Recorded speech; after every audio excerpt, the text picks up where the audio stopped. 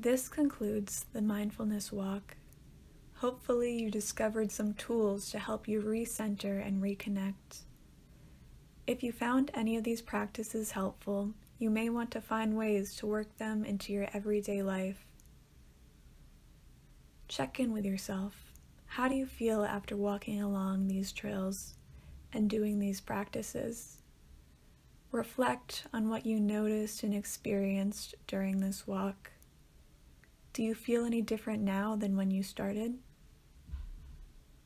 If you would like to learn more about the Wareham Land Trust and what we do, you can visit our website at warehamlandtrust.org for information on all of our properties, updates on upcoming events, and how to become a member.